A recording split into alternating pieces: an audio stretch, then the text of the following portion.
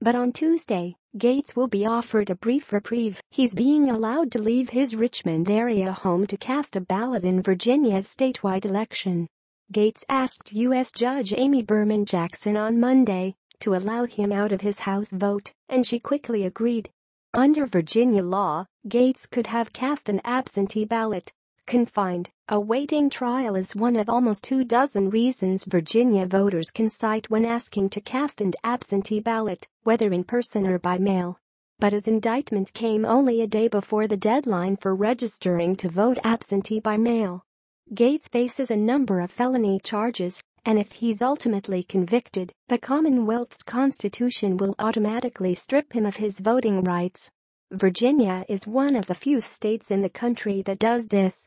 But he still may be able to vote after serving his sentence, thanks in part to bipartisan efforts in Richmond. In 2013, then-Governor Bob McDonnell, a Republican, made it easier for nonviolent felons to get their voting rights back.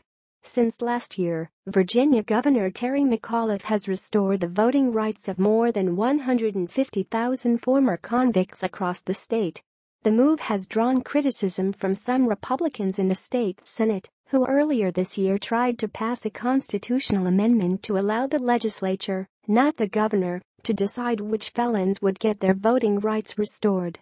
The measure was rejected in the General Assembly. Republican gubernatorial candidate Ed Gillespie recently injected the issue of felons voting into the race against Democrat Ralph Northam. Although both largely stand on the same side of the issue, Gillespie criticized Northam for going too far in letting felons vote. In a TV ad, Gillespie said McAuliffe and Northam sought to give all felons, even violent ones, the chance to vote after serving their sentence. Virginians who have paid their debt to society and are living an honest life should have their rights restored. But Ralph Northam's policy of automatic restoration of rights for unrepentant, unreformed violent criminals is wrong, he said in the ad.